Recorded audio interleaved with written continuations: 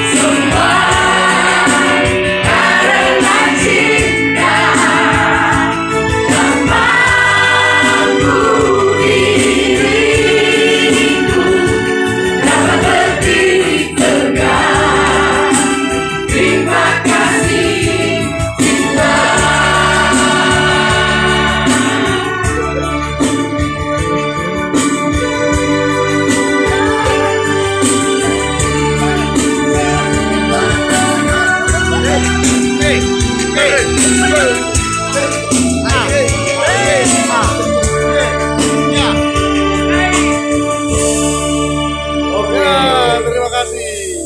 Semua karena cinta. Selanjutnya.